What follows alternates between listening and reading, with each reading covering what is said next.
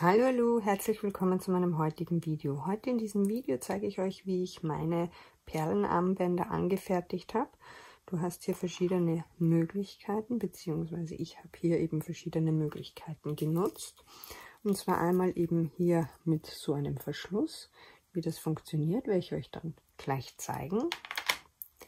Dann gibt es noch diese Möglichkeit. Man muss das eben hier auch nicht knüpfen, kann man aber. Werde ich euch auch zeigen, wie das funktioniert. Wie dieser Verschluss funktioniert, das könnt ihr euch in einem separaten Video ansehen. Also eben, der ist in der Größe verstellbar. Und dann hier die dritte Variante. Das hier ist einfach nur ein Gummiband, wo ich die Perlen aufgefädelt habe. Ähm, das bekommt ihr aber ganz gut ohne mich hin. Welche dieser drei Varianten ihr macht, ist nur vom persönlichen Geschmack abhängig. Ich habe für meine Armbänder hauptsächlich diese dunklen Perlen verwendet. Das sind Lavaperlen und die haben eben die Eigenschaft, dass sie Düfte aufnehmen können. Das heißt, du kannst hier deinen Lieblingsduft hinaufgeben und so hast du ein Duftarmband. Ich gebe hier immer ätherische Öle drauf, aber du kannst natürlich zum Beispiel auch dein Lieblingsparfum hinaufgeben. Als erstes machen wir jetzt dieses Armband eben mit diesem Verschluss. Das heißt, du brauchst so einen Verschluss dann brauchst du einen so einen Verbindungsring. Dann brauchst du entweder ähm, Quetschperlen oder solche Quetschröllchen. Ähm, diese Perlen und die Röllchen unterscheiden sich nur dadurch, dass die Perlen eben rund und diese Röllchen eben länglich sind. Dann brauchst du eine Zange zum Zusammenzwicken deiner Quetschperlen. Dann habe ich hier einen Perlonfaden. Kannst auch einen Draht verwenden oder anderes Material. Ich mag die eigentlich ganz gern. Und dann benötigst du noch Perlen deiner Wahl. Ich gebe jetzt hier auf meine Perlonschnur, ich hoffe du kannst sie sehen, eine Quetschperle oder eben so ein Röllchen drauf. Ich nehme jetzt so ein Röllchen und fädel die hier so drauf. Und auf der einen Seite eben den Verschluss und auf der anderen Seite so einen Verbindungsring. Aber jetzt machen wir mal diese Seite. Dann fädel ich eben diesen Verschluss hier drauf. Und das Endstück bringe ich jetzt nochmal durch meine Quetschperle durch.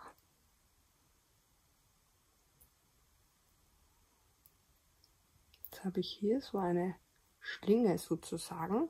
Dieses Endstück darf ruhig ähm, ein, zwei Zentimeter lang sein.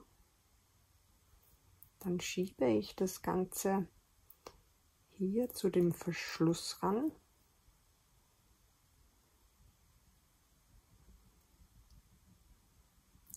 Und nun drücke ich dieses Röhrchen mit meiner Zange zusammen.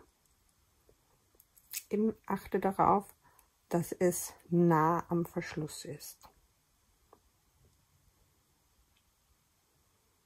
Einfach nur fest zusammendrücken, kontrollieren, ob es auch wirklich haltet und gut zusammengedrückt ist.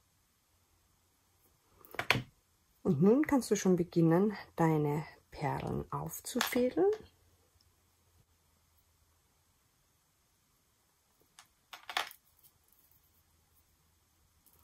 Dieses Endstück eben verstecke ich hier in dieser Perle.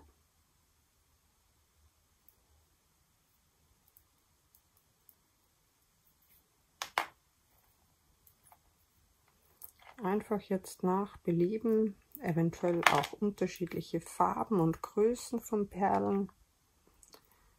Beziehungsweise gibt es auch solche Zwischenstücke, die man einarbeiten kann.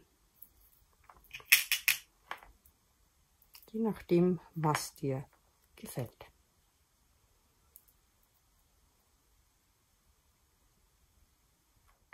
Einfach vorher deinen Handumfang messen, dann weißt du auch, wie viele Perlen du hier auffädeln musst. Einfach das Ganze hier abmessen.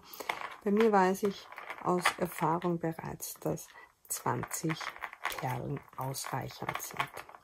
Also so 2022. Ich habe ein relativ schmales Handgelenk, aber einfach eben abmessen. So, nun bringe ich eben wieder so eine Quetschperle drauf.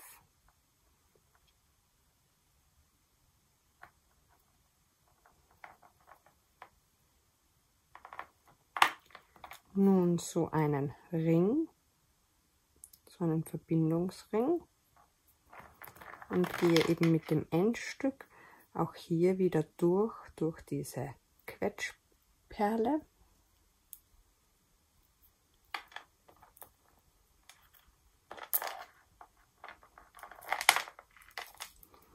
Und dieses Endstück fädel ich jetzt eben auch durch zwei, drei Perlen noch durch.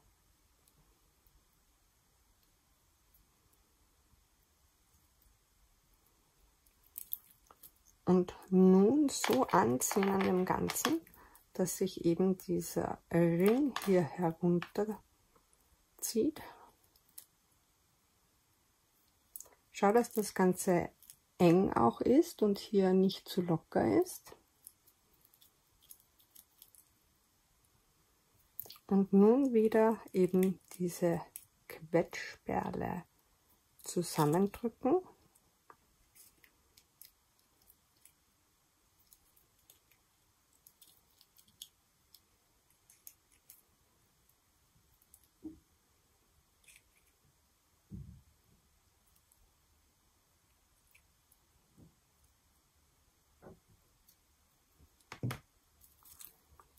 Das Endstück abschneiden.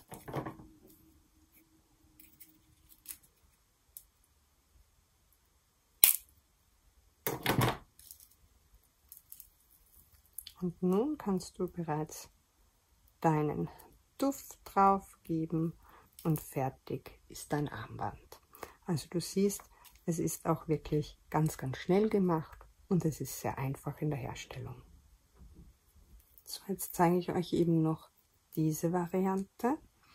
Ähm, hier habe ich einfach mehrere Knoten dazwischen gearbeitet, also um genau zu sein drei. Und hier habe ich immer nur zwei gearbeitet, also einen links und einen rechts Knoten. Und wie das eben funktioniert, das zeige ich euch jetzt. Hier habe ich eben ein äh, Mikrocord verwendet Du kannst aber auch zum Beispiel ein Nyloncord verarbeiten. Du könntest auch ähm, Baumwolle oder andere Materialien eben verarbeiten. Ähm, ich habe hier jetzt ein äh, Paracord Mikrocord in dem Fall und habe hier einen Meter zehn heruntergeschnitten und eben zur Hälfte genommen. Also du brauchst hier jetzt eben nicht besonders viel Material. Dann habe ich hier eben auf diese Mittelschnur meine Perlen aufgefädelt. Also einfach nur auf eine Schnur diese Perlen auffädeln. Ich habe hier jetzt bei dieser Schnur ähm, 45 cm, ist gar nicht notwendig. Ähm, also es reicht auch, wenn du ja, äh, 35 bis 40 cm nimmst. Dann befestigst du einfach eben diese Schnur entweder auf deiner Tischplatte oder so wie ich hier einfach mit einem Klebestreifen und dann beginnen wir auch schon.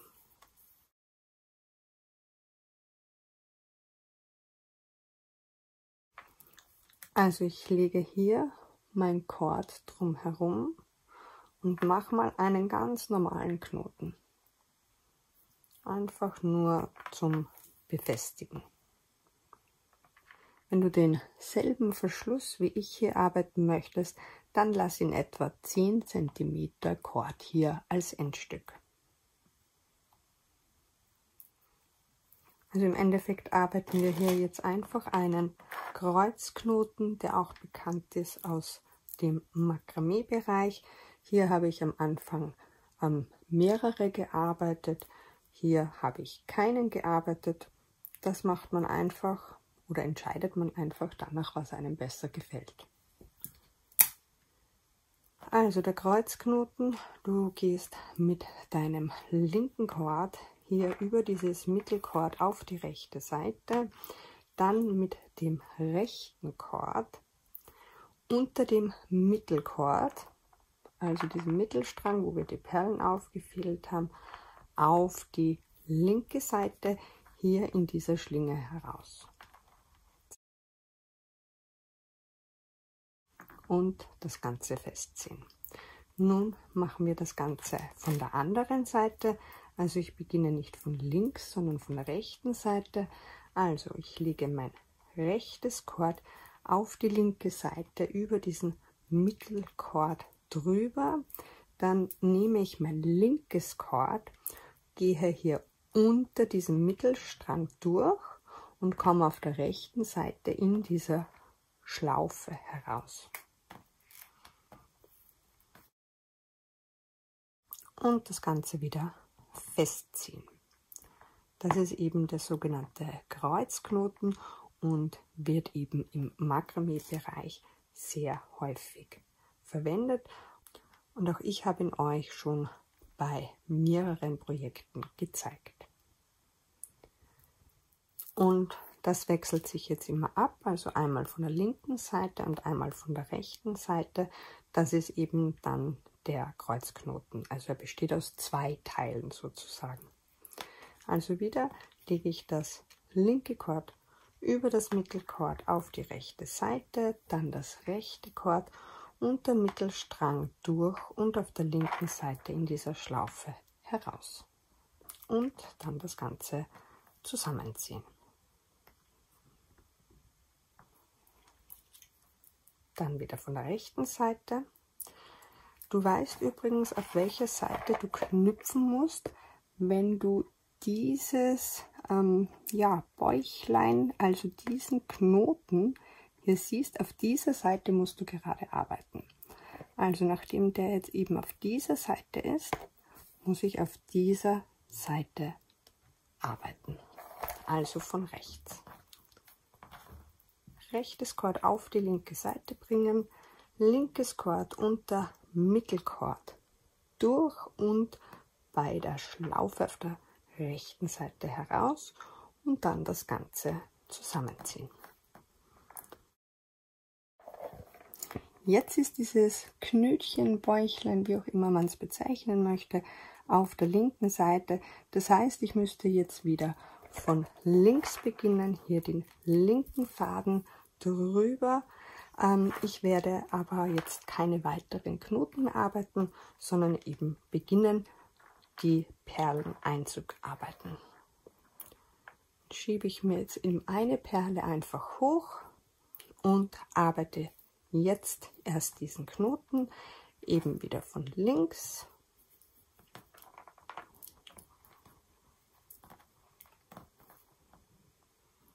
Ziehe das hier zusammen.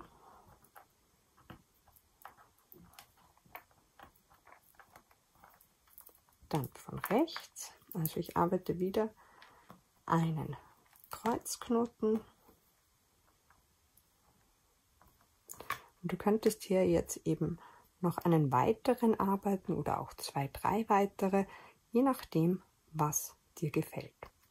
Also ich entscheide mich jetzt dafür, dass ich immer nur einen Kreuzknoten arbeite, also einmal von links und einmal von rechts. Nehme meine weitere Perle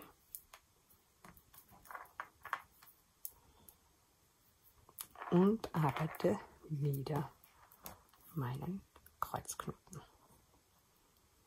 Einmal von der linken Seite, einmal von der rechten Seite.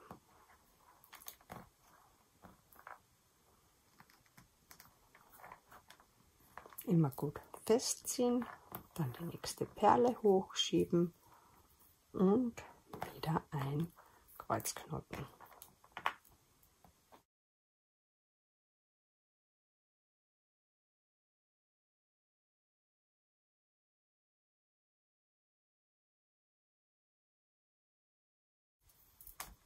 Und das eben wiederholen. Also du siehst, auch das ist ein, eine sehr einfache Variante, um ein Armband herzustellen.